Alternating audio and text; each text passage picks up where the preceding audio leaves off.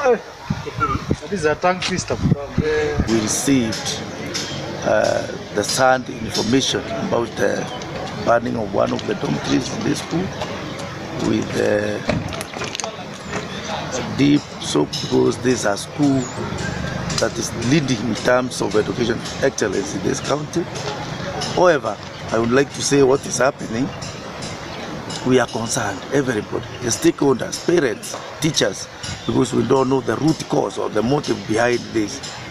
As a member of the County Education Board, we have several schools that had uh, various kinds of unrest, demonstration, burning of schools.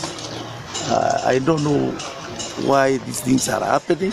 It has been very saddening that in the recent one week or so, we have had two incidents of fires.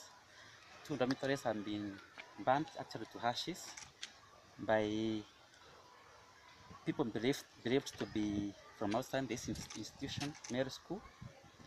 It is regrettable that only a week after the first dorm was burnt, as investigations were going on, the second dorm has been burnt down.